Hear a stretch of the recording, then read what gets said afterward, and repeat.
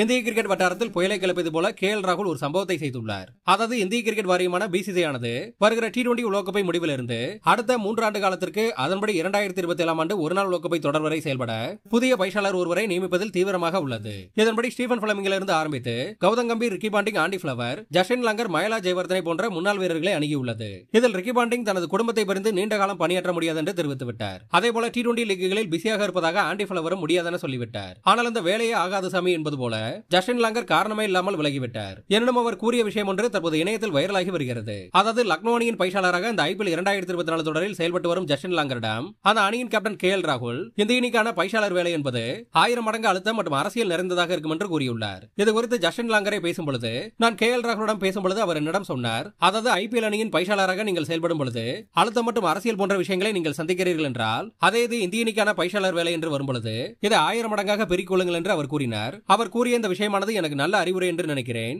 இது ஒரு நல்ல வேலைதான் ஆனால் நான் தயாராக இல்லை என்று ஜஷன் லங்கர் கூறியுள்ளார். இந்நிலையில் ஜஷன் லங்கரிடம் ராகுல் ஏன் இப்படி கூறினார்? இது உண்மைதானா? அப்படி இந்திய கிரிக்கெட்டில் என்ன நடக்கிறது என்று சமூக வலைதளங்களில் ஃபேன்ஸ் எல்லாம் கேள்வி எழுப்பி வருகின்றனர்.